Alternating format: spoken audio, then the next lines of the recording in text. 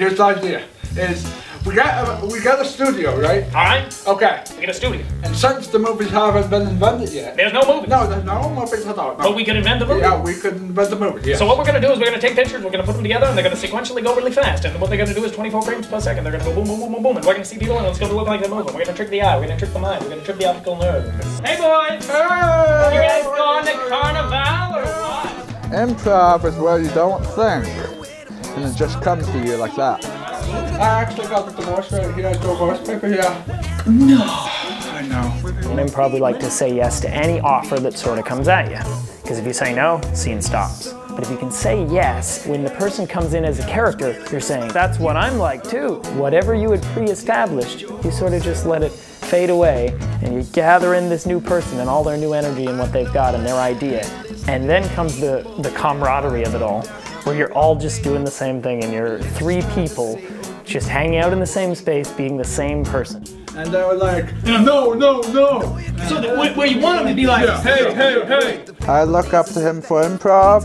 I look up for him. Uh, I want to be as calm as Adam one day. You know what? I love making people laugh. I love it more than money. And money is not that important to me, actually. And the fact that he can do it, I think he's very proud of himself because he's had a lot of limitations. And it's a gift that he has. Oh, God, that's poison. In November 1995, uh, Michael and I were involved in a motor vehicle accident, and they started working on Michael immediately because he expired twice and they had to bring him back to life. Thankful for what I'm given every single night. I try to be respectful and I try to be me as they stroll along. And every time it struck me, someone did me wrong. I have a brain injury myself, which is much less severe than Michael. And in my line of thinking, it was that the brain injury would repair itself and we would get back to a normal life. One time in the car, I remember my mom telling me this. I said, Hey, look, there's God. And she said, Where? And I said, There, there, there. There was a time where I was very suicidal. And I actually, Tom helped me out here when I had a knife to my throat. I wanted the prize faster, so I was willing to kill myself to get it. But I don't believe that's the way to heaven because God gave you this life for a reason. Adam, how are you doing? you're doing an interview. Oh yeah, okay. Mike doesn't use the term support worker at all, and I wouldn't either. He suggests something, we do it, but I also will say, hey Mike, why don't we do this? And he'll be like, yeah, sure. So sometimes we'll wrestle, sometimes we'll shoot Nerf guns in the yard, sometimes we'll do improv, sometimes we'll play a video game, sometimes we just chill and watch The Vampire Diaries. That was his suggestion. But I also got him to watch Firefly, which was my suggestion. So we share those things. Adam is very compassionate. He's a, a very um, loving type guy himself. I like food. I like sushi.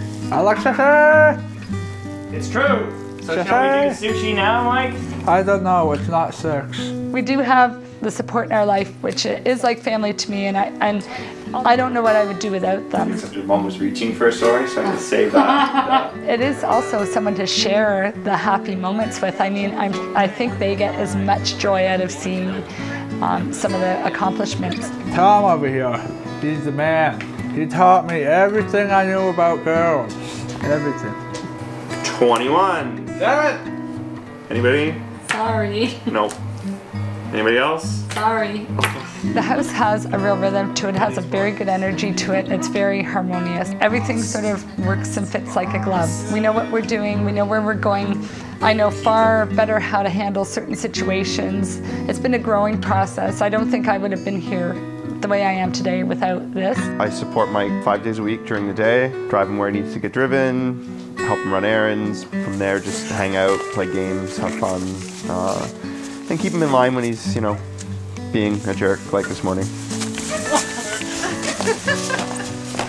take Monopoly. One, say sorry. It's not hard. You're picking on a retarded kid. Yep. Once a child gets to a certain age and they're out of the school system, there is nothing left. So, what I did after everything was done is I developed my own social program, and it's a drop in program for people like Michael to come and drop in. You remember Big Booty? I do remember Big Booty. Number one. Number two. Big booty, big booty, big booty. Big booty number two. Number two, big booty. Big booty number two. Number two, big booty. Big booty number two. Number two, number one. Number one, Big Booty. I like to express myself even though other people might not want me to express myself. Your laugh is so excellent that I could get any girl. Whoa! Eventually, I didn't really care what other people thought of me, so I kept doing what I wanted to do. This compliment is Mike's game. You look so good, you don't even need a girl. Whoa! He likes to uh, talk trash and do all the kind of gangster hip hop things, but he doesn't want it to be insulting or mean. It's phenomenal. He loves to listen to like hip hop music. You know, they they got nice beats and they got their lyrics, but they're sometimes some vicious lyrics, and Mike wants to sort those out. So he'll go along with it and he'll sing it and he'll be right into it, and then he'll be like, yeah, but you know what? That's not that's not a nice thing to say. So what if we changed it to, and then he just sort of changes it to something that's just like it's like this G-rated gangster rap. Nobody's average. Everyone is different. And if everyone was the same, it would be boring, wouldn't it? If everyone was funny, I would try not to be funny, to be different.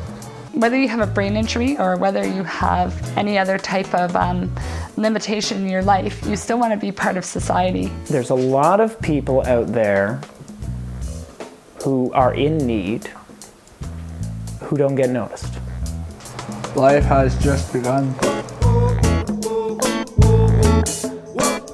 How are you doing? We are driving the car. That is a secret of the Secret Service. Do not tell him where we are driving. What are you saying? You have We are not driving the car.